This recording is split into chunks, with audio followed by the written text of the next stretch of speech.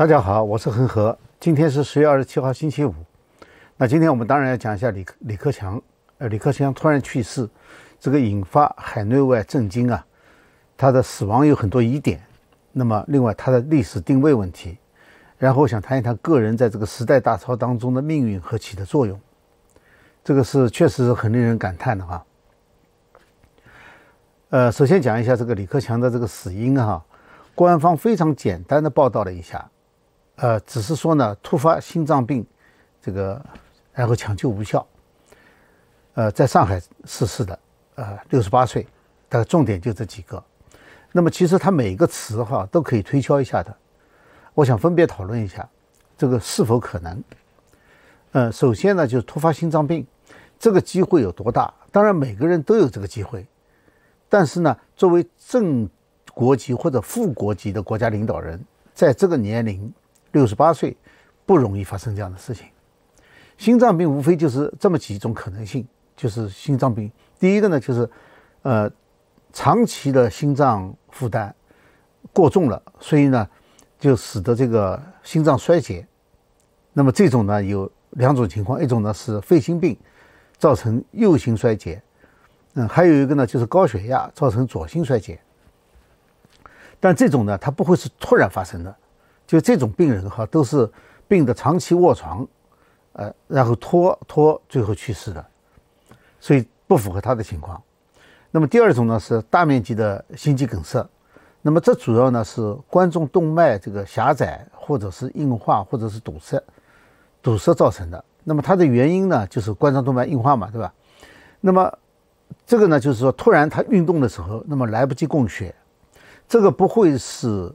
毫无正向的，就是说，呃，一个普通的人可能会发生这样的事情，就从来没检查过的。然后，其实他那时候冠状动脉已经很狭窄了，那这个时候突然运动可能会。但是国家领导人他是要定期检查身体的，而且现在检查的方式非常简单，也也是无损性的，就是嗯做一些这个正正常的检查就能发现的。所以，这个日常检查身体，心脏还是个主要指标。呃，所以呢。是不可能没有发现，啊，不会让他哈去做一个大的运动量，呃，去拼命活动的，而而且这种呢，就是保健医生一定要管着的，而且一有症状的话哈，就是当出现心脏正向的时候，那么用硝酸甘油去缓解，效果是相当好的，呃，更而且一般情况下不会到用硝酸甘油去化解的程度，呃，这是这个。大面积心肌梗死，梗死，那么还有一种呢，就是心脏骤停，这个呢其实也不会是无缘无故突然发生的，一般呢先前都会有一些各种类型的心律不齐的表现，所以这个也是可以预防的。就是说，因为一个一个是服药，如果不服药的话呢，其实呢还有一个就是内置起搏器，还有一个呢体外起搏器啊，都可以去解决这个问题的。那么。在中国，我为什么说领导人不会不容易呢？就是说，因为中国的这个体制啊，跟全世界区别很大的。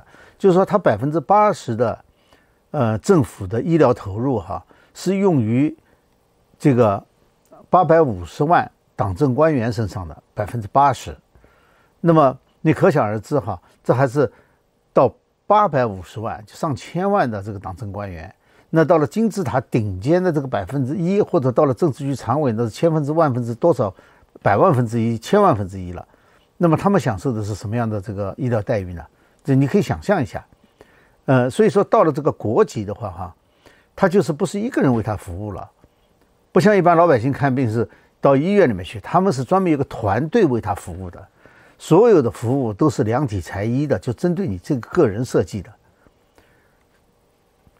那么，就是说，你再看一下哈，有人说说李克强入住的这个宾馆哈，说附近没有好的这个心脏病医院。呃，那么我们就讲一下这个宾馆，先说一下，这个这个叫东郊宾馆，上海东郊宾馆呢，和另外一个宾馆叫西郊宾馆呢，实际上同同样都是上海的国宾馆。东郊宾馆呢，还是上海最大的一个国宾馆。它的整个设计风格哈和钓鱼台国宾馆呢是非常相似的。呃，中国和外国的领导人到了上海的话，那么常去的地方就是这个东郊宾馆了。那么也就是说呢，就是这个宾馆因为是专门接待国宾的，呃，包括内外的，所以说呢，他对这个医疗紧急这个状态啊，它是有一套完整的预案的，就是说，绝不会说，呃，临时出了问题以后，然后去找哪个医院近一点，没有这种事情的。呃，再说哈，就是像这个级别的哈，这种这种医院哈，应该是有直升机的，不存在远近的问题。呃，所以说呢，呃，不要说去到哪送到哪个医院去了，就是宾馆自己，它都会有一些紧急处理的地方，就是医疗处理的这个系统，医院宾馆都应该有的。呃，所以呢，他呢送去的呢是一个曙光，叫做曙光医院的。呃，像这种国宾馆哈，往曙光医院送的这个可能性本身并不是太大。呃，不是说曙光医院没有这个能力哈。处理这种紧急心脏情况的话，上上海的很多医院，不要名医院，都能够就是超过所谓够格的水平。呃，因为上海的医疗水平的话，哈，呃，我相信不会低于北京，而且肯定会高于全国其他的省市。那么我这里说的是什么呢？就是，嗯，所以曙光医院本来是我相信是够格的哈，我只是说。李克强送曙光医院的话呢，这个机会不多，因为他们不可能送普通的能够处理这种情况的医院，而是一定要送最好的医院。曙光医院呢，它是上海中医叫中医药大学的这个附属医院。那么对中共领导人来说的话呢，当然他也有相信中医，也有相信西医的，但是我我想哈，在中国一般的观念就是相信中医的人，他也会认为。中医主要是用来调养、处理这种心脑的紧急状态的话呢，还是西医比较可靠。我想这是中国医疗界，特别是给高干看病的，他们也不拒绝中医，也不拒绝各种呃其他的方法。但是呢，他们会在紧急处理的时候，他会找西医。呃，那么这里呢，我就提出两个疑点来哈。第一个疑点呢，就是李克强的保健团队是不是原班人马？如果不是原班人马的话，这里就有疑点了，就是有没有临时换人。也就是说，临时换人会出现个什么问题呢？他就不知道李克强对李克强的整个病态、整个身体状况没有那么了如指掌，所以反应可能会慢一点，这有可能的哈。这个需要，这个就是说，当然不可能查了，这永远是黑箱了。还有一个呢，就是谁决定把他送曙光医院的，是不是符合这个国宾馆对？国家领导人的这种紧急医院的要求，啊，最后呢，就是他谈到他六十八岁了，大家知道哈，记得以前有一段时间提出过这件事情，就三零幺医院呢做了一个广告，就是说首长健康工程，就是他们把领导人的长寿目标呢是定在一百五十岁的，虽然现在还远远达不到哈，但是中国领导人的。国家领导人的这个寿命普遍高于全球领导人，据说在二零一五年的时候就已经是百分之就是八十八岁了。但实际上我们所看到的哈，九十到一百岁，这是一个比例相当高的这个区间年龄区间，而七十岁这个年龄，这个年龄段突然死亡的话是非常罕见的，呃，所以说这不是一个正常现象。那么关于李克强本人的这个定论，哈，有人说这个时候开定论了，我个人没有什么评价。呃，作为一个总理来说的话，他属于中共权力结构的第二号人物。那有人呢就说了他的很多好处，也有人呢说他说了他很多坏处，说他在任的时候没有做过一件好事。呃，这个我不去评，不可能没有做过一件事情，也没有不可能没有做过一件好事。我更倾向于是什么呢？呃。从更长远的角度去看，每个人都有自己的观点。这里我就我我觉得没有必要去谈他，因为李克强他个人的经历哈，我觉得非常有意义。就是说，他正好和中国文革后的这个呃经济改革开放完全重合，他个人的从政的经历。如果我没有记错的话哈，他应该是高考恢复以后第一批考入北大法律法律系的，就是说是七七级的。第一批考试进去的，呃，而高考恢复高考呢，是文革结束以后中国的政治转向的第一个明显的信号。因为那个时候哈，就是大家知道，后来清算文革，还有一个呃提出改革开放呢，它分别是中共的十一届三中全会和六中全会，但是那个时候啊，三中全会、六中全会还没有开呢。那是邓小平在十届三中全会重新复出以后，恢复权力以后做出的第一个重大决定，因为他知道哈，要改革开放了，将来肯定要转过去。呃，而人才呢是最重要的，所以他知道培养人才呢是当务之急，而且他不可能等到把一切都拨乱反正以后再开始，所以他提出来第一个就是先恢复高考再说。所以那个时候，你像我的命运就是那时候改变的，我也是七七年高考，七七年高考，但是那一批呢全都是七八年二月份的时候入校的，因为当时所有的学校都来不及。呃，那么他在北大呢就开始投入政治了。就是呃，北大团委书记嘛，然后就到团中央，我就简单讲几个关键点哈，然后就到团中央当第一书记，然后呢，先后呢到河南省，后来到辽宁省，成为省的地方大员，然后再进入中央。所以他是经历了这个中国后文革时期，就是文革结束以后，改革开放时期的所有的事件，从这个七七七届高考开始。呃，最后呢，在自己当总理的任上，又目击了和亲身经历了这个中国改革的死亡过程。如果不出意外的话，哈，他就是中国最后一个，就是最后一任改革开放时代的总理。这个具有讽刺意味的是什么呢？是李克强并非是这个时代的代表人物，就是他的死呢。却象征着这个时代的结束。那么这里呢，我想谈几几几个比较诡异的事情哈。呃，首先讲一下清末的改革。清末的改革呢，就是呃洋务运动主要是经济改革了，而政治改革呢，实际上是戊戌变法，就是百百日维新。那么呃，朝廷的代表人物呢，其实是慈禧和光绪两个人，因为真正要决定是不是。维新是不是要改革的话，是不是要变法的话，呃，那不是康有为说了算的，啊，那得是朝廷说了算。所以慈禧和光绪这两个人，后来变后来变法失败以后呢，后来变法失败以后呢，这个光绪被软禁，呃，然后呢，这个一九零八年的时候，一九零八年十月十四号，呃，驾崩了，然后呢，这个。二零零八年的时候考证，他其实是砒霜中毒死亡的。那么第二天呢？第二天慈禧驾崩了。三年以后，辛亥革命推翻了清朝。虽然在这之前哈，慈禧又启动了宪政改革，但是呢，大清的命运其实在戊戌变法失败以后就基本上定了。那么到了一九七六年的时候呢，历史有一点重演。就是周恩来、朱德、毛泽东，就是中共建政的三个巨头，一年内全都逝世，全都离世了。而且当时伴随着吉林的陨石雨和唐山的大地震，而且周恩来和朱德都算不上是正常死亡。周恩来是比较明确的，就是毛泽东不让他治。呃，朱德呢，很大机会啊，也是被这个蓄意受凉治病而死的。呃，这个不评价哈，就是，嗯，什么？当时大家认为周这周恩来是个好总理，是当时大家不了解内情，呃，中共内部里面当能当到这么大，没有好人，这个基本上是肯定的。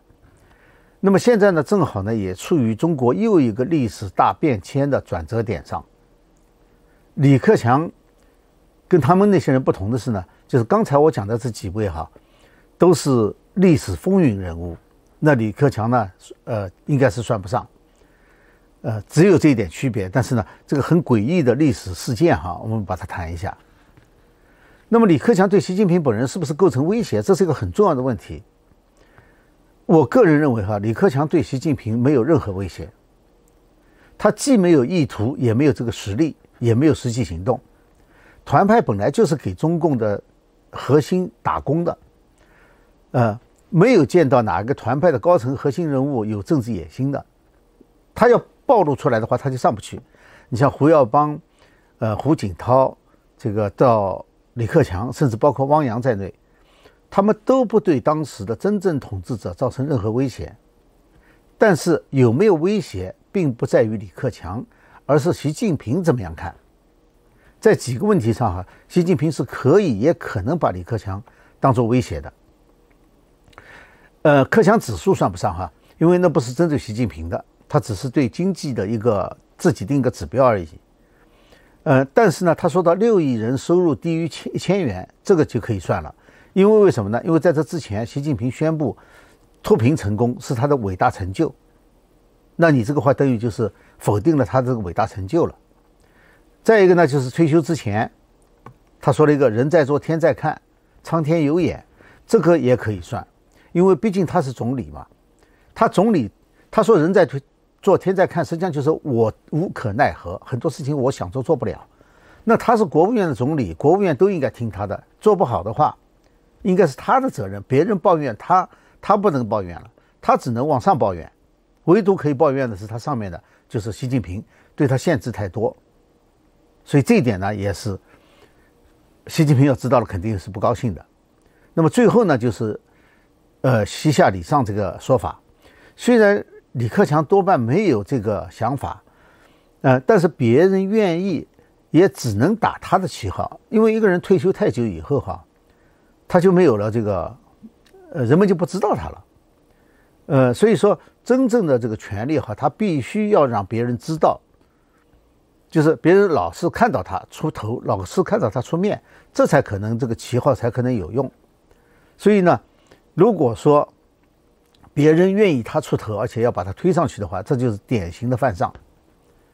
就像光绪一样的，光绪不见得想做那件事情，但是康有为呢，确实有推动光绪，呃，去这个，呃，就是逼慈禧还政于光绪的这个动作，所以是康有为做的。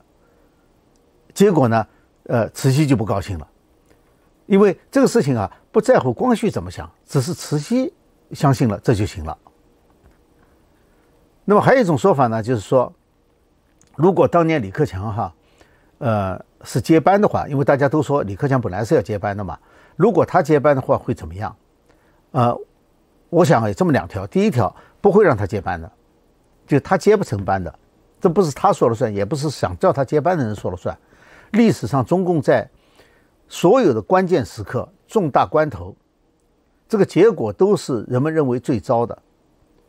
无论人或事，这个结果都是最糟的。你一次可以说是偶然的，但是每次都是如此，从来没有例外的，那就很说明问题了。这个呢，跟这个，呃，是跟这个好和坏的标准不同有关的。因为正常人的标准呢，认为那是一件最坏的事情，但是中共的标准呢，那是一件最好的事情，所以是标准不一样。那么第二个问题呢，就是即使他接班了，也不会有太大的不同。就是为什么我不评价呢？是不管他做的好还是做的不好，他对中国最近十年的这个历史进程几乎没有影响，就在于此。就说他如果接了班。也不会发生重大变化的。你想想看，中国最有名的两个改革派，这个胡耀邦和赵紫阳都没有能够改变中国发展的命运。改革的命运早在八十年代中期，中国最高当局那些元老们决定，就是永不进行政治体制改革。到那个时候做了这个决定的时候，中国改革的命运就定了。那么，所以人称习近平为加速师，而不是说转向。这是有道理的，加速是同一个方向走得更快，而不是说说打了个油腾转回来了，不是这个意思。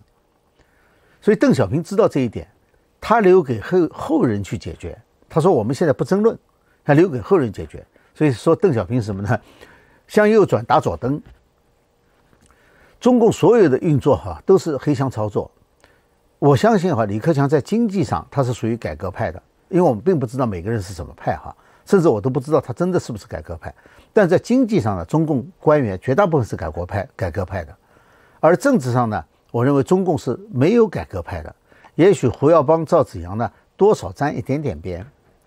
所以无论李李克强的这个政绩如何哈，在他的政治生涯的最后这几年，他仍然是一个，我个人认为是个悲剧人物。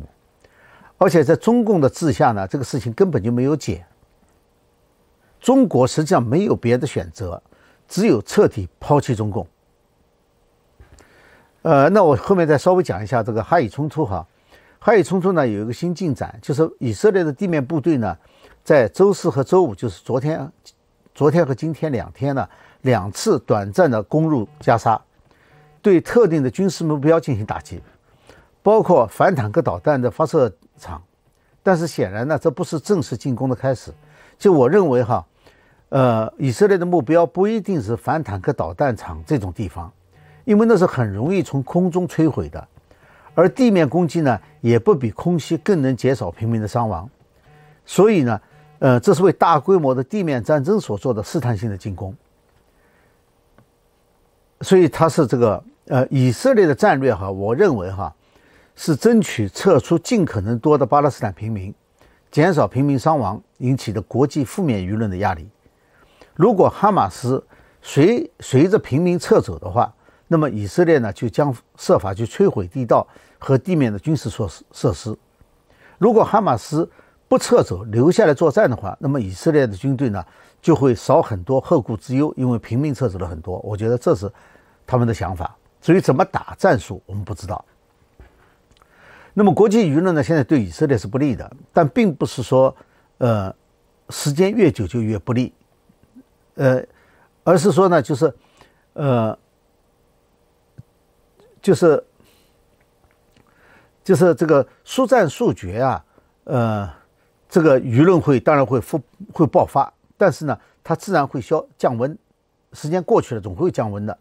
迟迟不进攻的话呢，它会使这个不利的舆论持续更长的时间，是这么个因素。但是因为加沙的人口啊、地形复杂啊，还有地道，就使得这个速战速决呢，这个以色列最大的军事优势不容易发挥。所以以色列只能稳扎稳打，也就是说呢，在以色列实际上是被迫接受了哈马斯设计的打法，呃，要求加沙居民这个离开北部，撤离到加沙南部呢，可能是以色列目前最好的一个对应措施。呃，那昨天美国国防部门表示，从十七号以来呢，在叙利亚和伊拉克的这个美军啊和他的盟军遭受这个。呃，伊亲伊朗民兵的这个呃，多达至少十六次的攻击，仅仅昨天一天就有三次，所以拜登呢下命令美军对这个叙利亚境内的伊朗这个伊斯兰革命卫队的这个多个设施进行空中打击。不过呢，这是我觉得是非常有限的针对性的精确打击，他的目标是警告伊朗不要对美军轻举妄动。所以我认为呢，这方面的冲突并不表示美国会卷入战争。呃，也不表示呢，就是这个战争会升级。我还是认为哈，中东整体的局势还是在控制范围之内的，因为大多数的国家并不想卷入。只要能够让伊朗不敢轻举妄动的话，那么剩下的由以色列和哈马斯去解决，让他们去打或者谈。不过随着时间的推移的话呢，巴勒斯坦平民伤亡的数字快速飙升哈，这个国际压力呢也开始增加。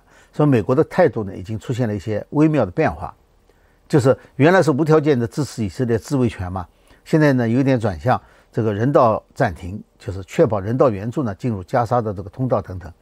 所以，我我个人但是还是认为哈，以色列地面部队呢，最终是大规模会进入加沙清剿哈马斯的。好，呃，今天呢因为是录播哈，所以跟大家谈一下，呃，还是把上次的问题啊，呃，看一下。呃，一位朋友呢，古瑞斯苏朱哈说，呃，盖茨舍身炸了麦卡锡这个碉堡，让共和党议会各议员的面目也来了一次大暴露，为美国做了一件大好事。麦卡锡这次输的无微不至，太好了，真是神来之笔。呃，其实我倒是觉得，这个呃，不见得就是盖茨本人就会想到这样的结结局，就是有很多事情啊，不是由盖茨来决定的，但是呢。呃，这确实是美国政治的一种运作方式，呃，所以当时我不是跟大家谈到有很有的人说，有的人就觉得好像这个美国怎么政坛搞成这个样子？其实这就是美国政坛的运作方式，啊，他的观点必须表达出来，他必须对他自己的选民负责，他必须对他们这一批人的政治诉求负责。呃，结果怎么样的话，做了再说。呃，我觉得是这样的。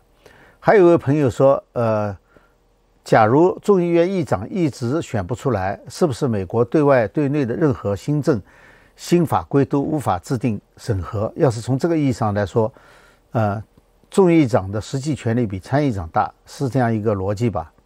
呃，我觉得道理上是这样的，因为美国的这个政治设置哈，从立法机构来说的话，虽然是参众两院哈，但是呢。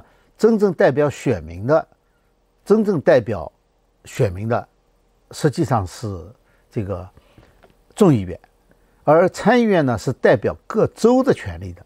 所以说，这个他跟你这个州的那个人数多少一点关系都没有，跟这个州的大小、经济实力一点关系都没有。每个州两个名额，所以是它代表州权的。从立法角度上来说，我个人相信哈，参议众议院的这个众议长的实际权力要更大一些。好，今天呢就跟大家谈到这里哈，呃，那么今天呢是干净世界先播，所以干净世界的朋友们呢，请注册和关注。呃，油管呢明天早上播，所以呢也请大家能够订阅、点赞和转发。啊，还是请大家能够留言哈。呃，感谢大家对我节目的支持和呃是以前以前的留言。呃，谢谢大家，我们下次节目时间再见。